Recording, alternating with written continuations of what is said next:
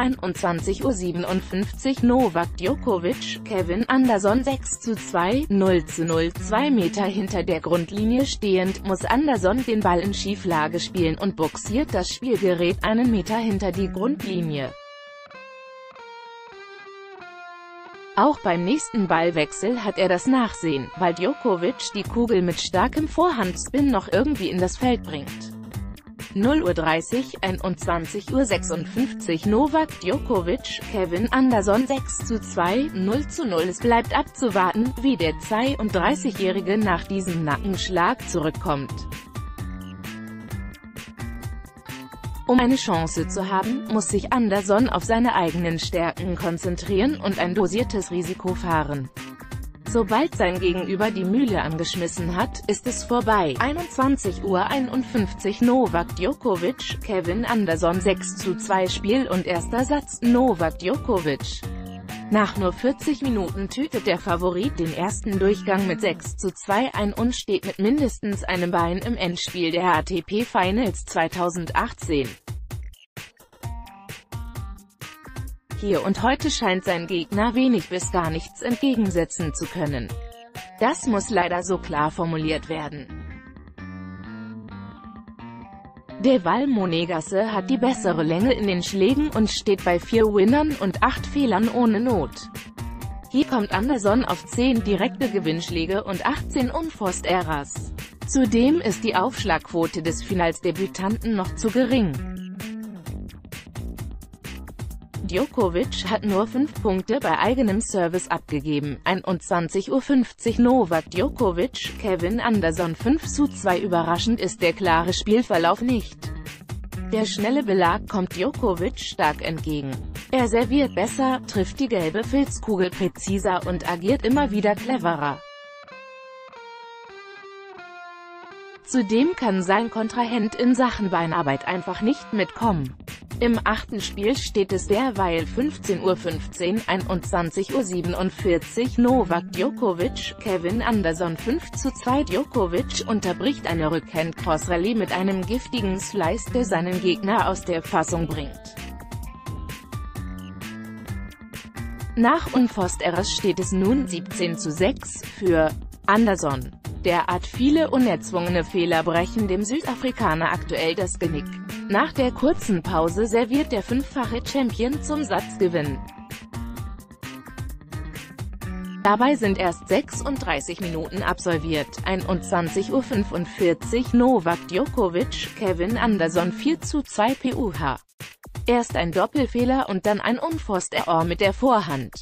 Schon steht es 30 zu 30 und Djokovic riecht an einer weiteren Breakchance 21.44 Uhr Novak Djokovic, Kevin Anderson 4 zu 2 mühelos donnert Anderson einen sehr hoch abspringenden Ball von der Grundlinie aus unerreichbar links ins Eck. Das Publikum applaudiert zurecht und auch der Gegner staunt. Wenig später folgt das 30 zu 0, weil der Südafrikaner endlich risikobereiter ist. 21.43 Uhr Novak Djokovic, Kevin Anderson 4 zu 2 Der 14-fache Majorsieger bleibt ganz cool und packt unter Druck sein bestes Tennis aus. Einem Kickaufschlag nach außen lässt er eine sichere Kombination aus Vorhand Longline und Inside-Out folgen. Mit dem 40 zu 30 im Rücken sitzt auch beim zweiten Aufschlag der nächste Punkt. 4 zu 2 für den D-Joker, der erstmals nicht ganz unantastbar gewirkt hat. 21.40 Uhr Novak Djokovic, Kevin Anderson 3 zu 2 nach 0 Uhr 15 liegt der Favorit durch eine verschlagene Rückhandcross mit 15.30 Uhr zurück kann Anderson nun Substitution und alles wieder auf Anfang stellen. 21.38 Uhr Novak Djokovic, Kevin Anderson 3 zu 2 knapp 27 Minuten stehen auf der Uhr. Zwar trennt beide Akteure lediglich ein Break, dennoch macht der Weltranglistenerste den stabileren Eindruck. Bei eigenem Aufschlag hat Djokovic erst ein Pünktchen abgegeben. Dennoch ist natürlich noch alles offen, aber Anderson muss mehr Gas geben und vor allem seinen Aufschlag halten. Dann wird er gleich irgendwann den von Nole angreifen müssen. 21.36 Uhr Novak Djokovic, Kevin Anderson 3 zu 2 na also, es geht doch. Erstmals geht auch dem Wien-Kampion ein Aufschlagspiel sehr leicht von der Hand. Dabei hat er sowohl beim Aufschlag an sich als aber auch am Netz überzeugt. Seine Beinarbeit ist für die Größe beachtlich.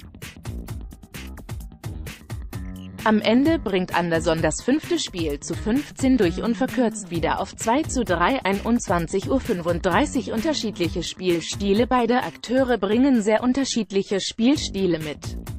Eine große Stärke im Spiel von Novak Djokovic ist das schnelle Umschalten von Defensive auf Offensive. Er kann sich sehr gut aus der Bedrängnis befreien, etwa mit seiner Vorhand aus dem Lauf gespielt. Seine gewischte Viper-Vorhand, mit viel Einsatz des Handgelenkes, kommt präzise und mit Druck. Andersons Spiel steht und fällt mit dem Aufschlag. Der 2,03 Meter große Südafrikaner kann aber auch aus dem Spiel heraus gute Bälle setzen. Bei Sprints von links nach rechts geht es mit der Präzision jedoch stark bergab. 21.33 Uhr Novak Djokovic, Kevin Anderson 3 zu 1 ohne Mühe und sogar ohne Punktverlust bringt Djokovic sein zweites Service-Game durch. Das wirkt schon alles sehr, sehr leicht. Anderson muss mehr Druck ausüben, sonst ist der erste Durchgang gleich schon weg. Vor allem sollte er sich aber nicht noch einmal berecken lassen. Dann wird der Weg zu weit. 21.33 Uhr Novak Djokovic, Kevin Anderson 2 zu 1 Der erste Aufschlag bleibt im Netz kleben, aber der zweite Versuch sitzt. Djokovic eröffnet Cross und legt dann sofort mit der Mühle zu. Er jagt Anderson von links nach rechts und profitiert letztlich von einem Fehler des Aufschlagriesen. Er prügelt die Kugel aus dem Lauf mittig ins Netz. 30 zu 0, 21 Uhr 29 Novak Djokovic, Kevin Anderson 2 zu 1 sein erstes Ass und ein Volley nach einem weiteren guten Aufschlag sichern dem 32-Jährigen das erste Spiel. Der 1 zu 2 Anschluss ist vor allem mental wichtig. Vielleicht kommt der Wimbledon-Finalist nun besser in Fahrt. 21.28 Uhr Novak Djokovic, Kevin Anderson 2 zu 0 Eie. Nole steht 2-3 Meter im Feld und wartet einen Tick zu lange. Dadurch ist der Ball zu nah am Körper und der Serbe verschlägt die Crossvorhand zum vermeintlich sicheren 3 zu 0.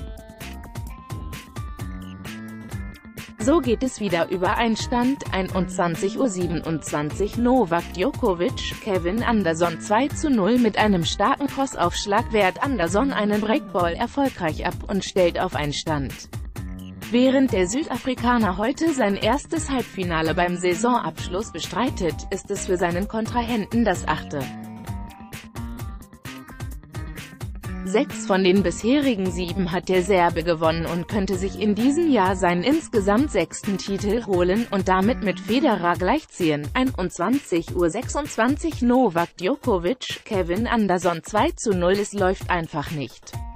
Mehrfach eröffnet Anderson zwar gut, wird dann aber eiskalt erwischt und ist einfach nicht wendig genug. Djokovic platziert die Bälle gut auf den Linien und scheint hier leichtes Spiel zu haben. 15.30 Uhr, 21.24 Uhr Der Schiedsrichter geleitet wird diese Partie vom Portugiesen Carlos Ramos. Der 47-Jährige ist einer der wenigen Golden Slam-Schiedsrichtern, das heißt, er hat alle vier Grand Slam-Finals plus ein olympisches Endspiel geleitet. 21.23 Uhr Novak Djokovic, Kevin Anderson 2 zu 0 Blitzschnell stellt der Favorit auf 2 zu 0 und hat Anderson zwischenzeitlich ordentlich von links nach rechts laufen lassen. Mal sehen, was der Finals-Neuling noch parat hat. 21.22 Uhr Novak Djokovic, Kevin Anderson 1 zu 0 Nach einem Service-Winner wird Djokovic von einem unangenehm langen Return überrascht und muss den Ball beinahe auf den Knien verarbeiten. Zwei Schläge später ist der Punkt weg und es heißt 15.15 Uhr 15, 21 Uhr 21 Novak Djokovic, Kevin Anderson 1 zu 0 Besser hätte das Duell für die Nummer 1 der Welt nicht beginnen können. Sein Gegner hat nur einen ersten Aufschlag ins Feld gebracht und am Ende der letzten Rallye die Vorhand zu lang gezogen. Der Ball hat zu wenig Trall bekommen und ist deshalb nicht mehr nach hinten runter ins Feld gekippt. 1 zu 0 für Nole, der einen guten Eindruck macht, 21 Uhr 19 Novak Djokovic, Kevin Anderson 0 zu 0 wieder Einstand. Zunächst greift eine weitere Challenge des Serben nicht, dass der Inside-Out klar neben dem Feld gewesen ist. Dann muss Anderson wieder über den zweiten Aufschlag und wird prompt per Vorhand gegen die Laufrichtung ausgekontert. 21.17 Uhr Novak Djokovic, Kevin Anderson 0 zu 0 Doch die erste Breakchance wehrt Anderson ab. Sein Service-Game dauert nun schon über 5 Minuten. Das kostet Kraft, 21.17 Uhr Novak Djokovic, Kevin Anderson 0 zu 0 und da ist die erste Challenge des Abends. Djokovic zweifelt daran, dass die gelbe Filzkugel seine Grundlinie noch berührt hat und er hat vollkommen recht. Der Ball ist gut anderthalb Zentimeter hinter der Grundlinie gelandet. 30 zu 40 gibt es den ersten Breakball für den Serben 21.15 Uhr Novak Djokovic, Kevin Anderson 0 zu 0 bei 30 zu 15 bringt Anderson den ersten Aufschlag wieder nicht ins Feld. Sofort gerät der Südafrikaner unter Druck und setzt einen weiteren Ball ins Aus. Schon früh muss der Underdog beißen und spürt, wie gut der D-Joker drauf ist. 21.14 Uhr Novak Djokovic, Kevin Anderson 0 zu 0 über den zweiten Aufschlag kommend, verschlägt Anderson im Folgenden eine Vorhand. Doch beim nächsten Ballwechsel geht er früh ans Netz und setzt seinen zweiten Volley stark ins rechte Eck. 15 beide 21.13 Uhr Novak Djokovic, Kevin Anderson 0 zu 0 und damit rein ins Geschehen. Der einzig ungeschlagene Spieler bei den ATP Finals returniert, Anderson schlägt auf.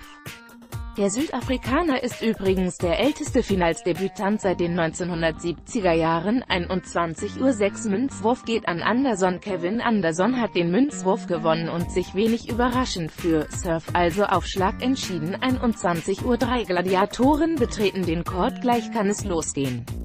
Die Spieler haben soeben den Court betreten und werden frenetisch von der Menge abgefeiert.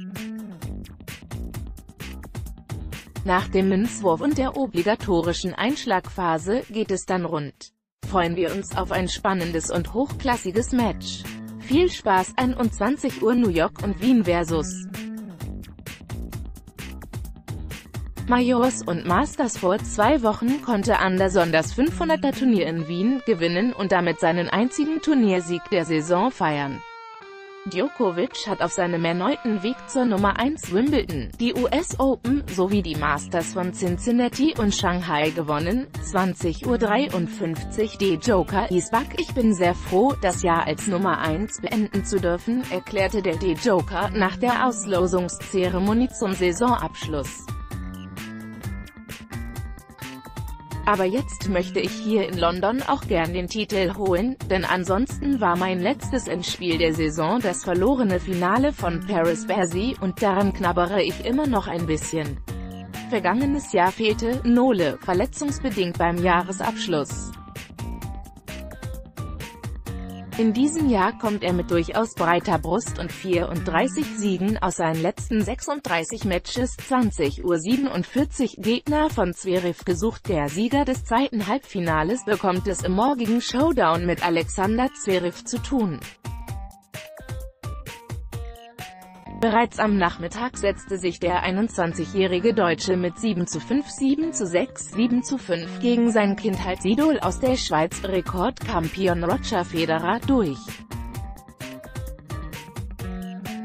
Er ist damit der erste Deutsche seit Boris Becker 1996 in Hannover, der die Chance auf einen Titel beim Tourfinale bekommt. Damals war Zverev nicht einmal geboren.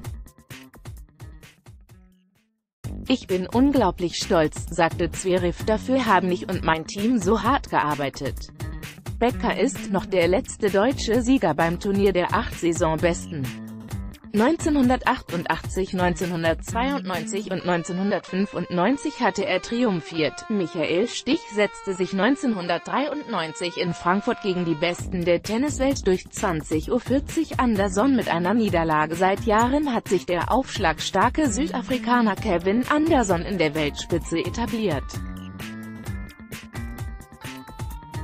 Spätestens seit seinem US Open-Finaleinzug 2017 und dem Erreichen des Wimbledon-Endspiels 2018 mischt er ganz oben mit. Der 32-Jährige kann sich an diesem Abend für die bittere Dreisatzniederlage im Wimbledon-Finale revanchieren. Ende Juni musste sich Anderson nämlich mit 2 zu 6, 2 zu 6, 6 zu 7, 3 zu 7 gegen seinen heutigen Kontrahenten geschlagen geben. In der Gruppe um Dominik Thiem keine Nishikori und Roger Federer gab es für Anderson lediglich einen Misserfolg. Und zwar zum Gruppenabschluss gegen Federer, 4 zu 6 3 zu 6. Zuvor siegte der Aufschlagriese 6 zu 3 7 zu 6 12 Uhr 10 gegen Team und 6 zu 0 6 zu 1 gegen Nishikori, 20 Uhr 33 makellos ins Finale 2012 bis 2015 gewann Novak Djokovic die ATP Finals gleich viermal in Serie. Auch in diesem Jahr untermauert der inzwischen 31 Jahre alte Serbe seine Topform. Der Weltranglistenerste gab im bisherigen Turnierverlauf keinen einzigen Satz ab und wurde souverän Erster in der Gruppe um Alexander Zverev, Marin Cilic und John Eisner. Bereits in CH2-Matches war der D-Joker für die Runde der letzten vier qualifiziert.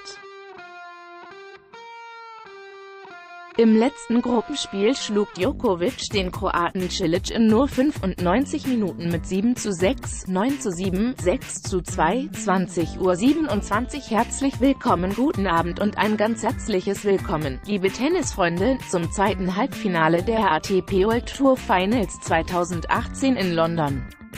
Hier kommt es zu einer Neuauflage des diesjährigen Wimbledon-Endspiels, Novak Djokovic trifft auf kein Anderson. Los geht es ab 21 Uhr in der 20.000 Zuschauer fassenden O2 Arena.